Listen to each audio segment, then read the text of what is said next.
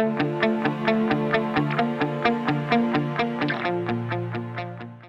is one of the, the promises that I was made when I started performing, uh, being trained by the greatest performing coaches of all time.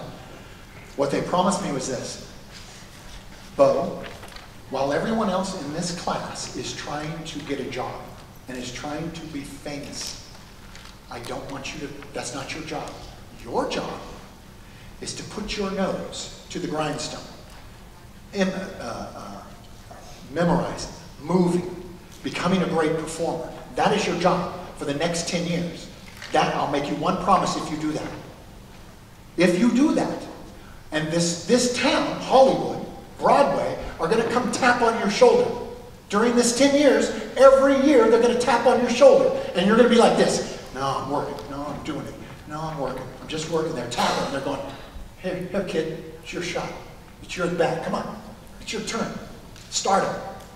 No, no. Working. Got this. And he said, you keep your head down and you work. And when 10 years passes, you can lift your head and you will be surrounded by people you respect.